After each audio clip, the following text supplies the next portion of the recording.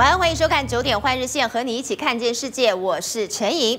最新消息，外界以为美国总统川普跟北韩领导人金正恩的川金会已经宣告破局。不过呢，针对北韩在今天发表声明说随时愿意谈，美国总统川普就在刚刚不到一个小时前，在他的 Twitter 上面发文表示说，这样的发言很温暖，甚至还说接下来会有什么结果，很快就会看到了。似乎双方再度示出了善意。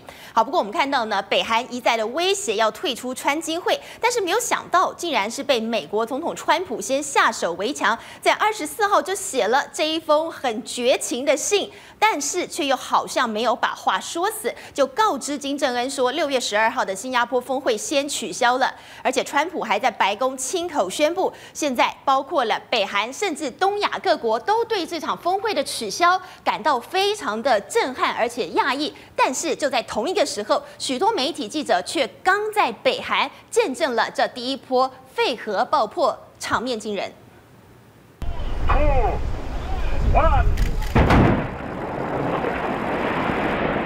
每次爆破地动天摇，北韩二十五号展开第一波公开的废核行动。山坡上的树木和土壤随着爆破往下崩，将隧道口完全封住。I'm here at North Korea's nuclear test site at Punggye-ri, a place that foreign journalists have never been allowed before. And we are here, the North Korean government says, to witness the destruction of this site. They say it will never be able to be used again. 媒体才经过这一番震撼洗礼，另一个震撼弹又来。I've decided to terminate the planned summit in Singapore on June 12th. 川普在没有先告知日韩等友邦的情况下，公布取消川金会，还写了一封给金正恩的公开信。 Sadly, based on the tremendous anger and open hostility displayed in your most recent statement, I feel it is inappropriate at this time to have this long planned meeting. 态度转硬的川普不忘提醒金正恩，如果演变成军事行动的后果。Powerful anywhere in the world is ready if necessary. 北韩突然被告知川金会取消，很傻眼。 外交部副部长金桂冠表示极度遗憾，说这不符合朝鲜半岛人民和世界期待，还说我们给美国更多机会。只不过川普自己也没有把话说死。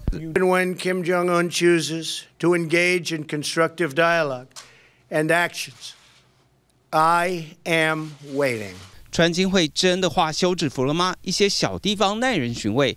新加坡的川金会媒体报名网站一度关闭，后来又重启，这代表什么？目前外界仍不得而知。东新闻江义清和中综合报道。好，我们再度插播最新消息。根据香港媒体的报道，北京在今天传出金正恩即将三访大陆的消息。港媒认为，应该是北韩之前没有主动向美国表态，要以驻韩美军撤军来作为无核化谈判的前提，也因此引发了北京的疑虑。而如今呢，专精会疑似喊卡，这下一步要怎么走呢？金正恩恐怕要当面请教习近平了。至于这个消息是否属实，这几天就会。知道答案。好，我们看到呢，的确，当川金会破局的时候，就是美国跟北韩关系恢复原状，持续对北韩施压的时候。尤其呢，美国五角大厦军方发言人甚至在川金会破局的第一时间宣布，他说，美国驻韩部队已经准备好了，今天晚上就可以对美国开战。但是我们来看看美国为什么敢这么大声呢？事实上呢，我们看到美国的确呢已经在这里部署了将近三万雄兵，就在两韩交界处蓄势待发。那么其中呢，我们要来仔细看看这一支美军的王牌部队，也就是美军的第三步兵师第一装甲旅战斗队。早在金文会之前呢，他们就已经到了韩国首尔的基地报道了。而说到了这一支第三步兵师战功彪炳，他们又叫做袭击者。旅在韩战的时候，因为反应快速，还被称为救火队。现在时隔六十八年，袭击者旅再度回到南韩，恐怕就是为了随时开战做好准备。众所期待的川金会破局，美国军方持续对北韩采取最大压力。美国驻扎在朝鲜半岛的部队已经准备好，要战就来战。In terms of we are ready to fight tonight, that's always been the case. 美军有如此自信，是因为自从韩战停战以来，就有大批美军在南韩。目前仍有包括陆海空和海军陆战队约两万八千五百名美军驻扎。其中主要军力第八军团约一万九千人。就驻扎在距离非军事区仅四十公里的首尔龙山区，再加上美军最近在南韩部署萨德反飞弹系统，更让驻韩美军有能力抵挡北韩的飞弹攻击。不过，真的要让北韩闻风丧胆的，应该是美军王牌部队第三步兵师袭击者旅，在今年二月重返朝鲜半岛，这也是韩战结束以来这支部队首次重回南韩。By November 1950. the 3rd Division was in Korea. We mobilized our men and equipment and moved up the east coast of the Korean peninsula to engage the North Korean Army on their right flank. The spit and polish of our peacetime training gave way to the tactical problems of the battlefield. 第三步兵师战功彪炳，除了一战、二战在欧洲战场抵御德军之外， 由于在韩战期间的快速反应，因此有“救火队”的称号。两千零三年在伊拉克战争，更一路从科威特进攻伊拉克，挺进巴格达。影音网站上更有美国网友拍到第三步兵师在斯图尔特堡总部整装待发的景象，超过千辆的装甲车一字排开，非常壮观。此外，驻韩美军也在二月成立 MQC 灰鹰无人机部队，提高作战能力。The Gray Eagle system could obliterate Pyongyang's critical military infrastructure north of the demarcation line between the two Koreas, including North Korea's operational command, if all-out war was to break out on the peninsula. 据美军兵推，朝鲜半岛如果开战，将造成大量伤亡。光是在开战首日，就会有超过数十万平民死伤，也会造成大约一万名美军受伤。美国陆军参谋长麦利更警告，这将会是现役士兵从未经历过的残酷战争。当然，大家都不希望最后走到这一步。多斯新闻黄信息，钟成杰报道。不过这一场内战持续的进行当中，那就是沙地阿拉伯的宫斗戏码。就在大概一个星期之前呢，伊朗媒体曾经报道，两颗子弹恐怕是让这一位沙地阿拉伯的王储遇刺了，甚至还说呢，这两颗子弹很可能已经要了他的命。但是呢，如今我们来看看是不是已经有转圜了呢？因为呢，萨尔曼终于公开露面了。我们仔细来看看这张照片哦，其实就是萨尔曼在沙国的吉达萨拉姆宫主持了。经济会议，他甚至呢还审视了今年的第一季总预算的执行状况。那么他整个样子看起来好像没什么异样，可是呢，你仔细看看，似乎呢却又不同于以往的精神意义。好，我们看到呢，其实在传出萨尔曼遇袭之前，他神隐了超过三十天都没有露面。那么外界就传出了他应该是非死即伤吧。尤其在他神隐期间，有很多沙国的王子们就呼吁了，赶快来直接。推翻萨尔曼，要来抗议萨尔曼之前对他们的清除异己、赶尽杀绝。就连这一位萨尔曼的叔叔，也就是哈利德亲王也说，在王室当中的家族仇恨真的很大。也因此呢，从这一番话当中，外界就推测了，这次萨尔曼的遇袭恐怕不是宫斗的结果，反而只是一个开始而已。就让大家继续看下去吧。好，不过说到了宫斗，其实不只是大陆有《甄嬛传》，在土耳其也有《甄嬛传》。剧情讲的是鄂图曼帝国的宫斗，所以当我们在台湾追陆剧在封韩流的时候，在中东他们风靡的其实叫土流，也就是土耳其的肥皂剧，而且用全民追剧来形容，真的是一点都不为过。比如说呢，这一出叫做《禁忌之爱》，里面呢有不伦恋，有裸露的画面，甚至还有枪支，不知道被中东 NCC 罚了多少钱了。但是当年他们播出最后一集，当这个不伦恋的女主角举枪自尽的时候，竟然创下百分之七十三点七的超高收视率，这恐怕让台湾的八点档都要靠边站了。也因此，土耳其肥皂剧在全世界的肥皂剧出口排名上仅次于美国，而且还可以外销高达一百四十个国家，每年创造三点五亿美金的产值。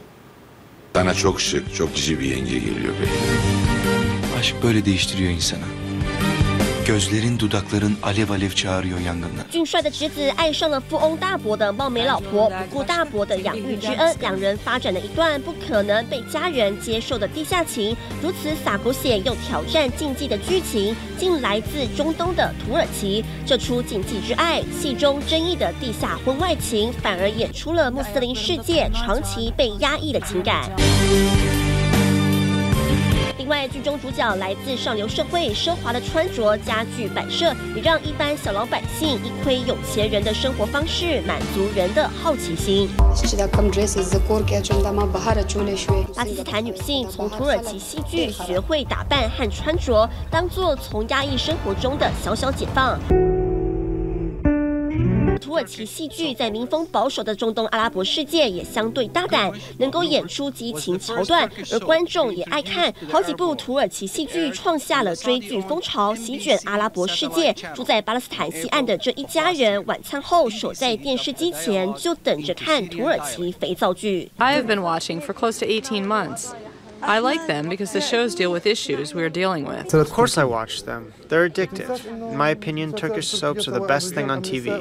And something else, the actors are very beautiful. 比起其他国家的外来剧，土耳其肥皂剧更符合中东地区的文化和社会价值观，像是家庭婚姻观。即使剧中出现了伤风败俗的剧情，但结局一定符合穆斯林世界观点，更容易引发阿拉伯民众共鸣。也因此，土耳其戏剧外销中东、美国等等 一百四十个国家。过去十年来急速稳定成长。二零一七年创下了最高三点五亿美元的产值。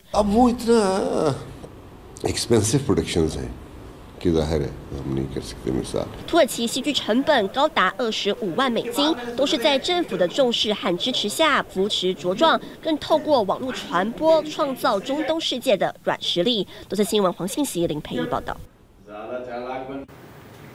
美国总统川普昨天先发制人，抢先宣布川金会破局。结果呢，没有想到这个白宫的礼品网站其实反应也很快。志涵今天要带我们来看看呢，好多东西其实都打折求售，但是大家想要的这个川金会纪念币，不但呢是降价了，而且啊现在几乎买不到了。志涵，好，没错，陈英，我马上带您看到这个网站。其实大家都知道，川普是一个生意人嘛，他脑筋动得很快。当然，他的这个白宫礼品部网站，其实呢，他的脑脑筋也动得。非常快，因为他昨天一宣布之后，有一个东西就降价了。我们先看到这上面有很多很多的礼品，对，包含这个川普的大头娃娃，大概是二十七点九五，还有那个 FBI 的马克杯，上面也都有卖，甚至是这空军一号的空服务员的娃娃。那么现在呢，很多人在抢的是什么呢？就在陈英的旁边，大家有看到吗？这个川金会的纪念币，奇怪了，川金会都要取消了，为什么现在还要来看这个纪念币？大家为什么要抢它？其实我觉得大家非常的聪明，因为 见跟不见其实都非常有纪念的意义，特别是这个不见的时候。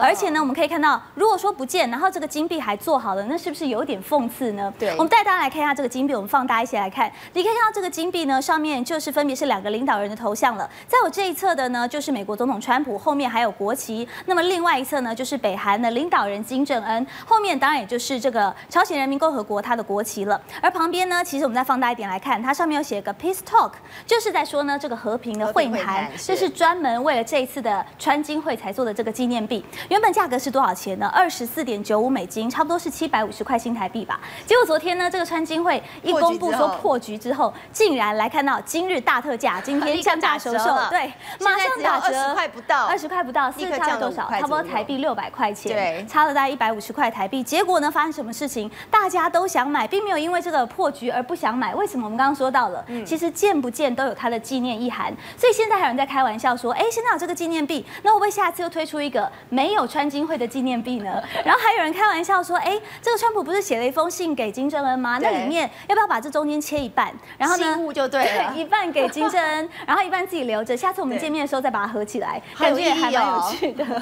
好的，谢谢志涵。所以我们看到呢，怎么搞的？川金会没有开，反而呢，这一个纪念币是降价，而且大家想买都买不到呢。不过我们看到这个金正恩哦，在今天其实他也展现了诚意，盛大炸毁了丰西里核市场，而且呢，其实我们也看到他还邀请了许多家的媒体来拍摄见证，甚至呢用炸乌龟、还有鱼翅汤这些山珍海味来招待记者。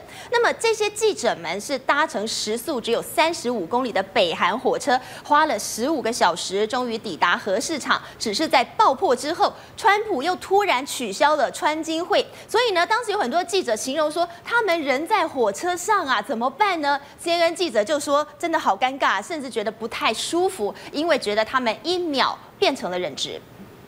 Three, two, one。北韩风西利核子试验场在二十四号关闭，美、俄、中、英、韩五国媒体也到场。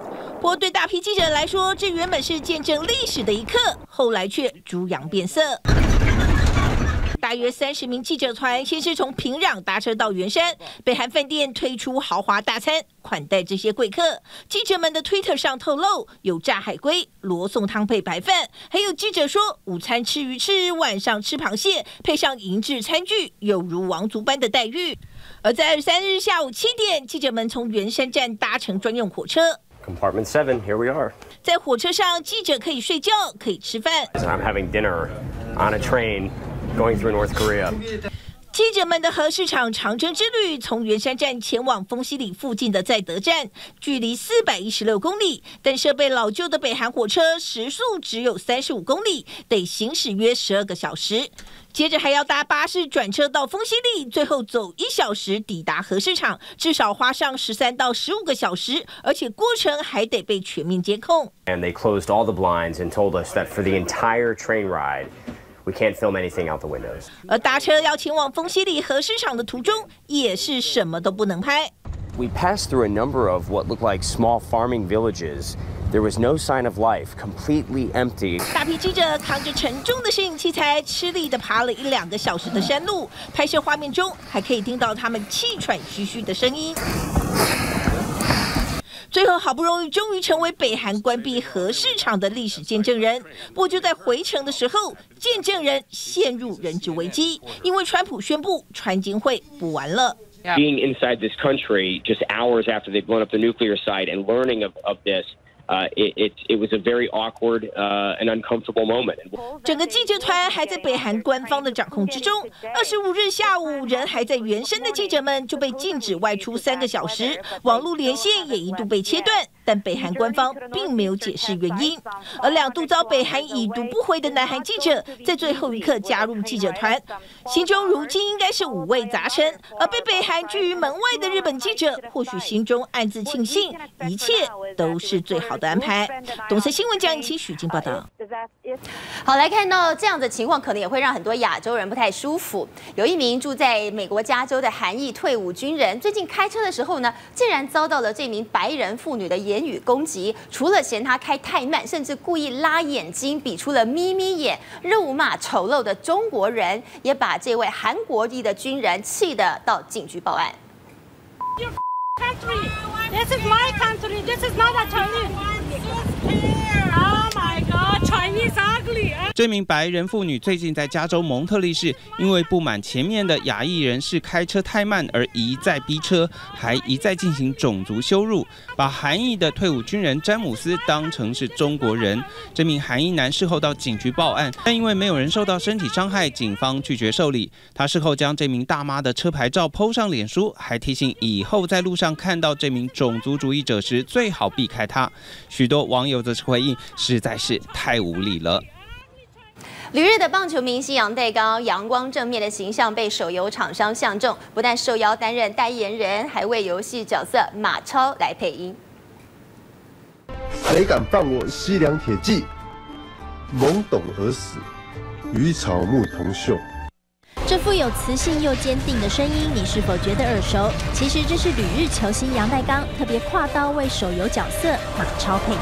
听不太出来那个是杨代刚的声音，不过蛮特别的，是那种角色里面的，很像是真的配音员这样。我觉得其实听起来蛮专业的，还蛮棒的。Action！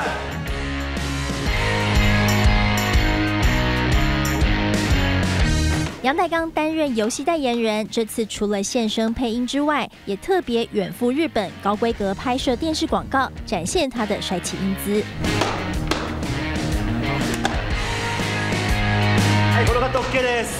除了有杨代刚跨界代言配音之外，厂商也大手笔找来许多知名的声优来助阵，就是希望让玩家除了画面冲击之外，在音乐音效的部分也更加融入其中。东森新闻综合报道。在北京的老胡同里，昔日的大宅门如今烟消云散，但是旧时的官府菜却回荡在四合院里，最能展现出老北京人的气度。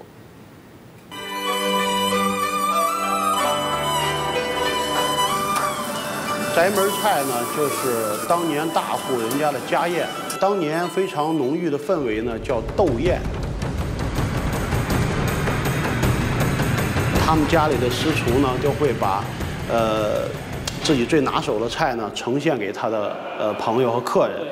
呃，这样的话呢，他的朋友客人呢品尝完了以后呢，回去会想，哎，我也应该做点更更有意思的菜。昔日的大宅门如今烟消云散，但旧时的官府菜却回荡在四合院里，让老北京人为之着迷。这古色古香的宅门是清朝时代达官显要所居住的四合院，如今物换星移，现在已经变成北京知名的怀旧餐厅。会有点就是像活在古装剧那种那种感觉啦。看过电影啊，然后看过那种小说啊书，我觉得有点那种感觉。段永成钻研宅门菜二十几年，单靠菜刀就能把一只只拆到骨肉分离，刀工细腻至极，藕断丝连，力道拿捏恰到好处。就不要锯透，不要完全锯断，它也是为了入味儿。这锯刀，锯完刀，这叫透刀，你看。然后锯完刀以后，您看它反面没有？它应该是有这种小孔的。这家菜馆是清代正黄旗后裔开设，宫廷宅门菜改走平民路线，千称小馆，贴近群众。怀旧氛围带领顾客走进时光隧道。我们家的这门墩儿啊，包括这些细节，都要诠释这个宅门菜的讲究。在吃的同时呢，它一定有一个，呃，那种身临其境的那种感受。耐人寻味的宅门菜，深藏在充满庶民趣味的四合院里。历经岁月淘洗的老北京，总能展现不同的名人风貌。东讯杨一平、陈元峰在北京的采访报道。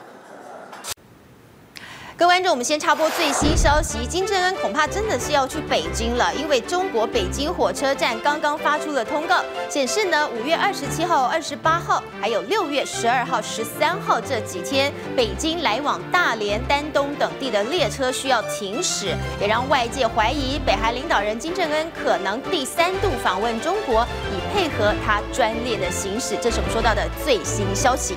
好，我们来看到全球暖化影响的层面现在非常的广泛，科学家呢甚至有了最新的警告，也就是呢二氧化碳排放量增加会让我们吃的米都失去营养，也让数以百万计的民众营养不良。而暖化导致海平面上升，则会让岛国面临了淹没的危机。现在有科学家就提出要建立叫做漂浮国家的观念，让人以海为家，甚至在大海上立国。这个所谓的漂浮岛国计划就在二。二零二二年，在大溪地所属的法属波利尼西亚，要建立全球第一个福岛，用自给自足的形式来运作，有自己的法律，甚至有自己的钱币。这个海上乌托邦如果成功的话，也将会为全世界的气候难民带来新的希望。热腾腾白米饭，台湾民众几乎每天都会吃上一碗。不过，随着暖化的主因石油煤炭燃烧下，温室气体不断排放出来。最新研究证实，当二氧化碳浓度越高，稻米内的蛋白质和维生素全部都会更少。Leaves of plants grown at elevated carbon dioxide have a lot less protein in them. Wheat, barley, rice, all of those, in probably only 50 to 60 years' time. will have 15 to 20% less protein in them than they do now. 许多科学家警告，二氧化碳浓度已在变高，地球暖化更加严重下，不止粮食危机，融冰增加后的海平面上升，为在南太平洋的法属波里尼西亚感受很深。That we are suffering from it now. One third of our islands are going to be lost to sea level rise. 法属波利尼西亚面临存亡关键，政府倒是找上了美国西谷的研究机构签署备忘录，要在大海上造出漂浮家园。Constructed with about 12 ecologically friendly floating platforms in a lagoon, these floating islands will have homes, offices, research centers, shops, and community spaces. The site needs to be within a reef protected from the large waves of the open ocean. 漂浮岛屿设计顺应当地的地理环境，预计可容纳两百五十到三百人。而这个海上家园，希望能成为许多岛国民众当海平面上升、失去土地后的安身之处。因此，收容各国气候难民后。 后漂浮岛屿会另有一套运作制度。The initial plan and the long-term vision is to have autonomous micronations. Yes. 漂浮国家要能收容气候难民，经济便非常重要。因此，岛上的商业中心被设计成不受政府监管，使用专属的加密货币，希望吸引新创公司到漂浮岛上发展，促进经济。第一座示范岛希望在二零二二年完成，如果成功，有望为太平洋岛国带来新希望。多色新闻江义清林培仪报道。而这座岛为什么会被称为骷髅岛呢？说到了美国纽约，你想到的可能是热闹繁华的街景，但是这个地方也是纽约，这里却是一个万人冢。它位在东美国东部外海一个叫做 Hart Island，也就是哈特岛这个小岛上面。这里因为过去的历史因素，埋有超过百万具的无名尸，而且现在因为潮水的冲刷，水石流失非常的严重。近年来大量的骸骨甚至阴尸外露，真的成了。骷髅岛。纽约市外海有一个人烟罕至的小岛，最近成了焦点。Chopper 2 flies over Hard Island, a public burial ground that lies to the east of the Bronx. The land is wearing away, exposing decades old bones and skeletons. 哈特岛上共埋了超过百万具无名尸，数十年来无人闻问，平时也无人管理。由于这个小岛位于海河交界处，潮水长期冲刷，土壤严重流失。二零一三年山迪飓风蹂躏后，惨不忍睹。如今岸边尸骸外露问题一天比一天严重。My baby was buried right near the water. The babies are buried in small coffins, so there's about five on top of each other.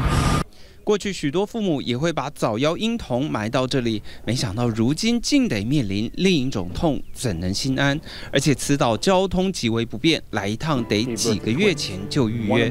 I know that my daughter is buried among a thousand babies, and this is not what I would have chosen. 美国联邦政府在二零一五年拨款一千三百万美元的急难修难款，但哈特岛要重建谈何容易？计划排到了二零二零年。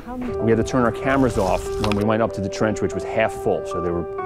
Three stacked high bodies in this trench that had not been filled yet. 走到岛上空旷处，尝试不可思议的安静。这里过去曾收过战俘，盖过疗养院和感化院，最穷最被遗忘的一群才会留在这。而即使变成了骸骨，仍无法入土为安，也让骷髅岛成了另一个名字。东森新闻邓雨晴何中综合报道。而另外，这个黑暗时刻不是蝙蝠侠的，是钢铁人的。电动车大厂特斯拉最近似乎真的是祸不单行，不但呢车主发生了致命车祸意外，美国消费者报告杂志也批评了特斯拉的 Model 3刹车出现了重大瑕疵，这个刹车需要的距离甚至比福特货卡还要远。那么这样子一个报道，现在惹得执行长马斯克非常的不高兴，他现在要对媒体宣战了，放话他现在要成立一个网站，让大家来评论媒体报道的真实性。在雪地中快速过弯奔驰，特斯拉 Model 3在广告中展现无比的性能，但在现实世界中，特斯拉生产却碰上瓶颈，进度严重落后。But you didn't expect this kind of production, Heller, did you? Um, no, it's worse than I thought. We put too much new technology into the Model 3 all at once. That this, this, this should have been staged. 更加雪上加霜的是，美国权威评测机构消费者报告杂志指出，这款电动车的刹车有重大瑕疵。Model 3在时速一百公里时，从踩下刹车到完全静止，需要的距离为四十六公尺，甚至比福特大型货卡还多了两公尺左右。一波未平，一波又起。这个月二十号，特斯拉电动车又在加州再传车祸事故。虽然目前还不清楚当时是否是在自动驾驶模式，不过正因为特斯拉频频受到媒体检视，让马斯克很不开心。Will you be in terms of capital requirement? Next, next. Boring bonehead questions are not cool. Next. 直接骂记者问白痴问题，一点都不留情面。同时，马斯克周三也在推特发文炮轰媒体，假仁假义的媒体巨头总是声称在报道真相，实则是包裹糖衣的谎言。他还决定仿照商家评价网站 Yelp.com，成立平凉媒体业网站。让大众为报道的真实性评分。一向野心勃勃的马斯克，竟然又宣布从本月中旬开始接受全轮驱动、具双发动机性能的 Model 3订单，而且预定七月开始生产。令人质疑，旧款产能都落后了，新款真的能如期交车吗？而除了内忧之外，特斯拉的外患也不少。包括法拉利、宾士等传统高级车厂，最近都开始研发电动车。宾士更以公路上的游艇为设计概念，从零到一百公里加速不到四秒。再加上五 G 行动网络上市后，车联网科技也是传统车厂押宝的重点。Hey Mercedes, speak now, please. I'm hungry. Please select an entry. 就像把苹果 Siri 搬到车上来，靠说话就能执行指令，不管是要找餐厅还是要喝咖啡都没问题。从发射火箭探索火星，到研发时速超过一千公里的超级高铁，有“戏骨钢铁人”之称的马斯克，一向勇于颠覆传统，个人魅力十足。不过，在传统车厂纷纷投入电动车领域之后，特斯拉是否还能独领风骚？外界都在等着看。东斯新闻邓雨清、钟成杰报道。而这样子的做法，则是被外界批评，简直是伪君子。这是在日本的一个现象。现在在日本呢，为了要解决劳动力不足的问题，竟然会用留学生打工的方式，先吸引了很多年轻学生到日本去打工。结果这一群年轻学生反而成了用完就丢、最廉价的劳动力。他们专门呢，就是来上超商的大夜班，或是一大早的送报生。而劳团认为说，日本是想要，但是却偷偷摸摸的在做伪。伪君子，但是呢，劳团也批了，日本是伪君子的话，台湾的状况简直是真小人了。因为呢，台湾是用制度在引进外籍移工，但是不但没有给移工们合理的工作环境，就连待遇都十分苛刻。来看我们的专题报道。こちらレシートと三百六十二円の開始でございます。 这是日本企业在越南的培训基地来上课的年轻学员，都是要去日本打工，而且很明显，打工的地点就是超商。但是明明都是年轻的学生，却为何要去超商打工？原来这是日本相当流行的做法，用留学生的名义吸引国外年轻学生到日本付出最基层的劳动力。越南籍的学生，他可能可能家里是卖了家里的或抵押家里的房子，然后凑了一笔钱作为中介费到日本去，结果。因为他是学生，所以他的打工的时间基本上是有有所限制的。更何况，呃呃，在这样情况之下，为了为了还债，为了生活，他们可能呃，他们可能呃必须要非法的打工哦。那里面有一个故事，就是他们已经饿到没办法了，就只好偷山羊来吃。年轻的学生有着新鲜的肝，他们轮值大夜班，做着日本民众不愿意做的工作，只为了一元中介跟他们说的能赚大钱的美梦。可是事实上，他们时间一到就得回国，之前的付出全都是过往云烟。别以为压榨外籍工的案例只有在日本，台湾更是青出于蓝。那日本呢？要贵个给谁的？呃，就是要为这个资方省。劳动的这样的一个成本，然后就用各种方式，譬如研习生这样的方式，这些学生在日本遭受非常不人道的不人道的待遇哦。那当然，台湾是比较是真小人吧，就我我我反正我就要，然后我就用制度的引进。劳工团体形容日本是伪君子，台湾则是真小人。我们找到一位长期受到雇主压榨的外籍义工，他说来台湾的第一年，每天工作二十个小时，薪水却只有两百块钱。他们跟我们说来台湾。应该你的生活比较好一点，会拿到很多钱，就是很甜很甜的秘密，就这样子给我们做梦比较比较很高很高。丁丁妈妈来台湾九年了，到现在还没有办法还完所欠下的贷款，所以我想我们应该有打造一个好一点的环境，让这些呃义工可以有一个比较平衡也比较公道的一个呃生存的条件。如果我们不愿意雇主压榨我们，是不是也该帮他们争取该有的工作环境？东森新闻温应军、郑和明台北采访报道。好，我们插播最新的消息，这个转变实在太快了，不到一个小时的时间，川金会竟然又死灰复燃了吗？我们来看到美国总统川普他自己喊开了川金会之后，不到二十四个小时，川普刚刚又跟记者表示，他很可能会按照原先计划，也就是在六月十二号跟金正恩见面。但是问题是，是不是在新加坡，还是在别的地方呢？锁定东森新闻，我们都会有更进一步的报道。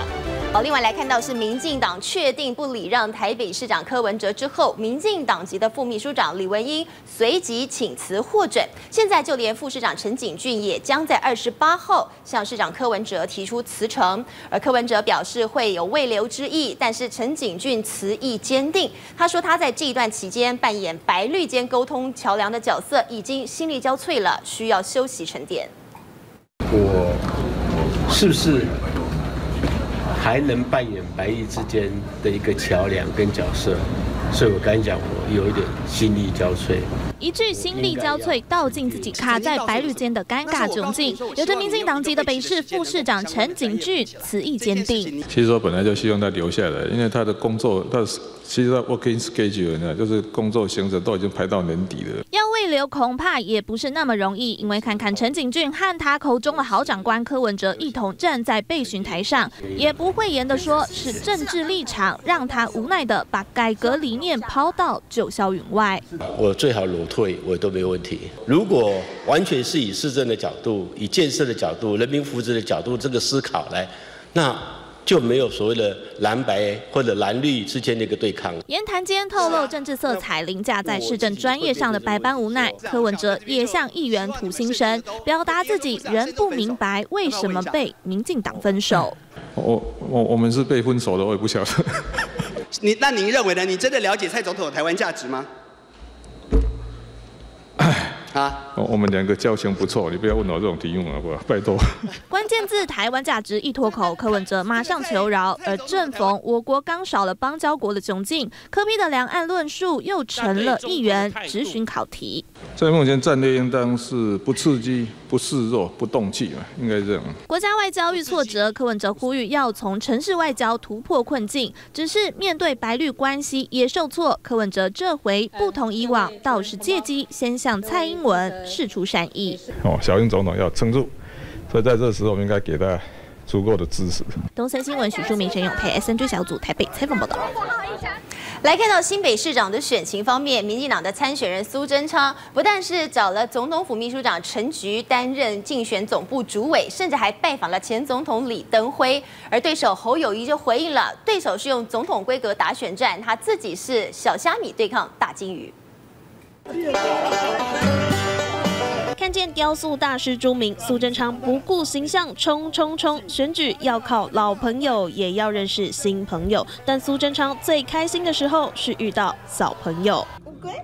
哎，有效有效。做爷爷的人习惯当个大玩具，就连和前总统李登辉见面也是满口小孩精。第一次把他曾孙女的照片秀给我们看，很可爱。让他。老人家谈起他的曾孙女，啊，很得意，很高兴。他本来就是新北市三支的人，那过去我当台北县长就受他很多指导鼓励。我来找年轻的小虾米来对抗总统大咖的大鲸鱼，啊，大概变化蛮嘞。到底我们年轻的小虾米厉害，还是总统大鲸鱼厉害？五局对手打出总统牌，侯友谊要带年轻团队迎战，首要战略是和基层把钢筋。民进党籍里长主办的参会也出席，各中用意不言自明。我，唔是你食桌边菜哦，我甲你点哦，桌边菜小菜，比人咧讲主菜更好食。夹菜看似自言自语，实则别有用意。苏贞昌阵营近期抛出的新闻话题，都是针对现任新北市长朱立伦，似乎不把侯友谊放在眼里。我只要市民哈重视我，看得起我，没有把我边缘化就好了。我没有来新北市政府之前，我就叫做侯友谊。侯友谊在全台湾就这么一个叫侯友谊。侯友谊做什么事，东西我自己决定。成功失败，自己负责任。一人做事一人当，一人选举一人扛。想跟朱立伦划出界限，更希望自己才是选战焦点。东森新闻 SNG 小组理事请、李丽珍在新北报道。说到了史上最畅销的小说《达文西密码》，很多人都看过。作者丹布朗现在正在访问台湾，也接受了东森新闻的独家专访。不过呢，其实丹布朗他并不是第一次来到台湾。他说，哦其实不管是中正纪念堂或台北一零一，都让他印象深刻。但是他也透露了，其实他心里的兰登教授并不是汤姆汉克斯，那是谁呢？我们来看看。回违四年，知名作家丹布朗带着《达文西密码》续集来到台湾。I'm very, very excited to be back in Taiwan again. 这位史上阅读率最高的作者和台湾其实颇有渊源。画面上被小朋友团团围住的金发少年就是丹布朗。三十五年前，他曾随合唱团来台湾表演。I was in Taipei in 1983. Uh, that would make me around 20 years old.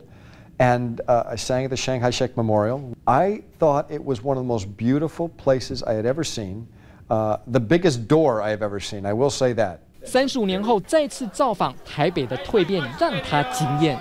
I've already explored some of Taiwan's architecture, including the uh, that incredibly tall building with 101 floors. 事实上，丹布朗作品对故事发生所在的城市精彩细密描述，包括《达文西密码》里的巴黎知名博物馆罗浮宫，《天使与魔鬼》的罗马和梵蒂冈圣伯多禄广场，以及《地狱》里的威尼斯和佛罗伦斯。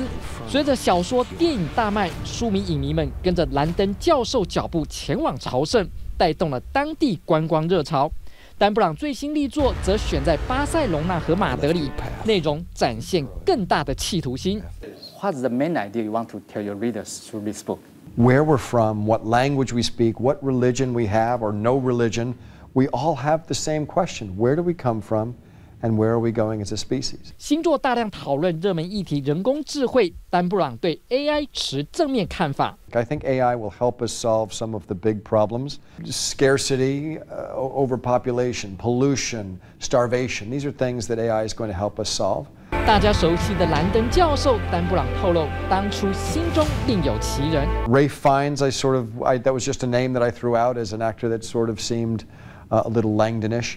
Uh, of course, I'm absolutely thrilled to have the great Tom Hanks play Robert Langdon. I'm very lucky. 当年的翩翩少年，如今的知名畅销作家丹布朗，穷尽精力探索人类起源，应该没有料到和台湾的这段缘分。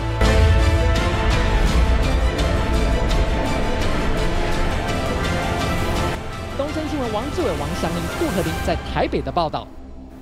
而这位被称为“上帝之声”的美国男星摩根·费里曼，则是卷入了性骚丑闻，他也已经向受害者道歉。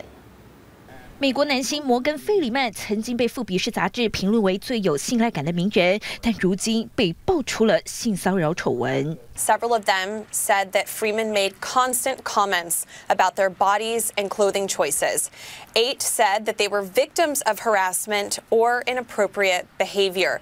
费里曼被指控的行为包括盯着女性的胸部、抚摸、按摩女实习生的肩膀，甚至有被害人表示，在担任制片助理时，费里曼不止一次试图撩起她的裙子。Who are you? I'm God. Uh, yeah. And I want you, Evan Baxter. to build an ark.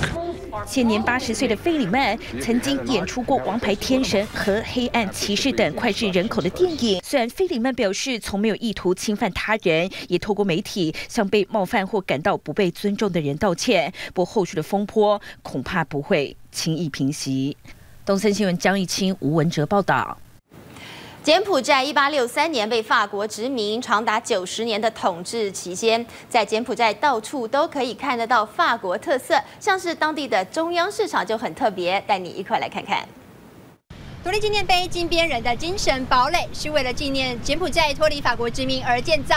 但现在呢，整个纪念碑的周边已经成为金边市民的休憩场所。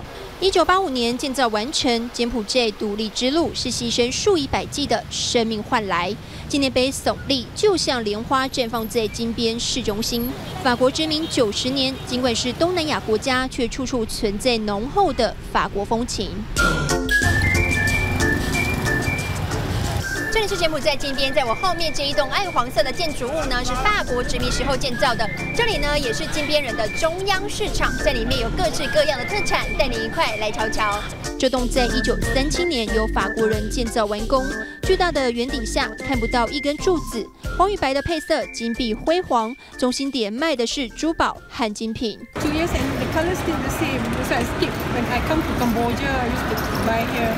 法式建筑检视商贩，到处都是比价的消费者。当地人有一说，喊二乘四，也就是喊售价的两折，最后会以四折成交。东南亚酷热，法国人只好往山上走，避暑胜地波哥山，气候凉爽，平均只有二十度。十九世纪的法国天主教堂，红砖墙斑驳，布满绿色青苔，俯瞰云雾缭绕，仿佛置身欧洲国家。